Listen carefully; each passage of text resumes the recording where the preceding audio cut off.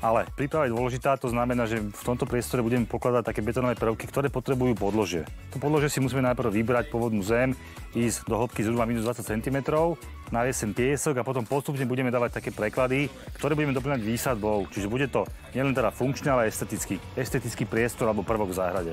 Príprava je dôležitá, ako hovorí František, a stroje naozaj sú neoceniteľní pomocníci aj pri takejto fáze, alebo hlavne v tejto fáze. Na to tu je odborník Filipko, ktorý naozaj využíva stroj. Je to veľká úspora času a energie, ale nie je to tiež len tak jednoduché, aby sa dalo povedať, že to je za 5 minút. Tak použili sme viacej náradí, ako spätnú frezu na zrovnanie, na prekyprenie a v podstate tú burinu sme zapracovali do zeme, tým pádom sme trošku dali tej organiky do tej pôdy.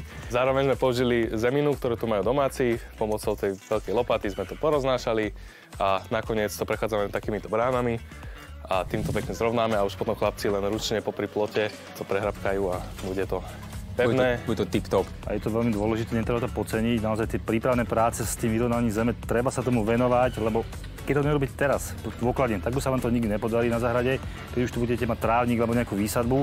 Preto treba tomu naozaj dostatok času venovať, aby to naozaj bolo celé v rovine, v celé nule, lebo len na takýto priestor sa potom efektívne dajú robiť zóny, kresliť a vytvárať krásnu záhradu.